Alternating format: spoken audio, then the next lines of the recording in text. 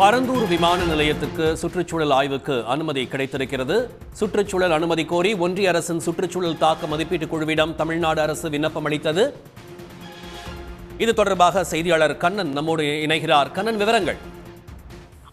தமிழ்நாடு அரசானது பரந்தூரில் புதிய விமான நிலைய திட்டத்தை செயல்படுத்துவதற்கான பணியை மேற்கொண்டு வருகிறது.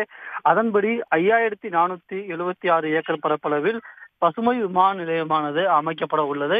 இதற்கான நில எடுப்பு பணிகளை தமிழ்நாடு அரசானது தொடர்ந்து மேற்கொண்டு வருகிறது. அதற்கான அறிவிப்பும் தொடர்ந்து வெளியிடப்பட்டு வருகிறது.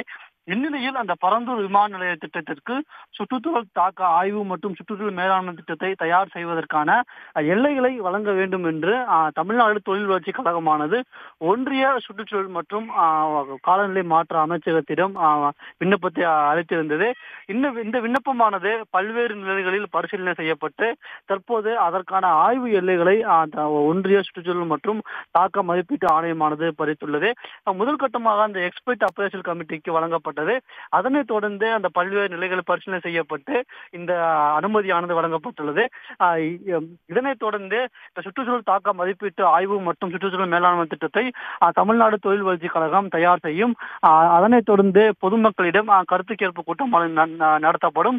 கருத்து கேட்பு கூட்டம் நடத்தப்பட்டு அதற்கு அதற்கான மொத்த ஆய்வுகளும் அனைத்தும் முடிந்த பிறகு இந்த திட்டத்திற்கு சுற்றுச்சூழல் அனுமதி கோரி தமிழ்நாடு தொழில் வளர்ச்சி கழகமானது ஒன்றிய ஒன்றிய அரசிடம் விண்ணப்பிக்கும் ஒன்றிய அரசு அந்த அனுமதி கிடைத்தவுடன் இதற்கான கட்டுமான பணிகள் முறையாக தொடங்கும் என்று தமிழ்நாடு தொழில் வளர்ச்சி கழகம் அதிகாரிகள் சார்பில் தெரிவிக்கப்பட்டுள்ளது.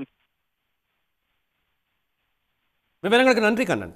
உடனுக்குடன் செய்திகளை தெரிந்து கொள்ள சன் நியூஸ் பெல் ஐகானை கிளிக் பண்ணுங்க.